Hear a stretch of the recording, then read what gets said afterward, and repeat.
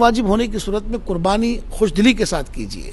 कुर्बानी वाजिब किस पे होती है? ईद उल अजहा के दिन, यानी दस लज्जा की सुबह सादिक से लेकर बारह की गुरूब आफ्ताब के दरमियान में, जिसके पास इतनी रकम आ जाए कि साढ़े बावन तोले चांदी या इसकी रकम, जो पाकिस्तान के अंदर एक लाख सैंतालीस हज़ार रुपये के करीब बनती है, उस पर कुर्बानी वाजिब हो जाएगी। और घर के जितने बालिग अफराद हैं, वो इस इतनी रकम के मालिक बनते हैं तो उन पर भी कुर्बानी वाजिब होगी। अब पूरे घर की तरफ़ से एक बकरा कर दिया या एक जनाब हिस्सा ले लिया तो ये काफ़ी नहीं होगा।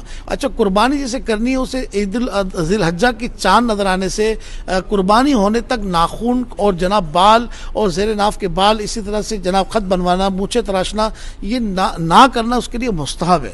लेकिन अगर कोई कर लेता है इन दिनों में ये बाल काट लेता है, नाखून काट लेता है तो उसकी कुर्बानी पर कोई फ़र्क नहीं होगा। बाद लोग इसको बड़ा लाजिम कर लेते हैं कि नहीं, ये ज़रूरी हो गया तो गुनागार होगा तो गुनागार भी नहीं होगा, सिर्फ़ एक मुस्तहब पर जो है वो जनाब अमल नहीं होगा, नेकी की दावत आम करते रहिए। मदनी चैनल देखते रहिए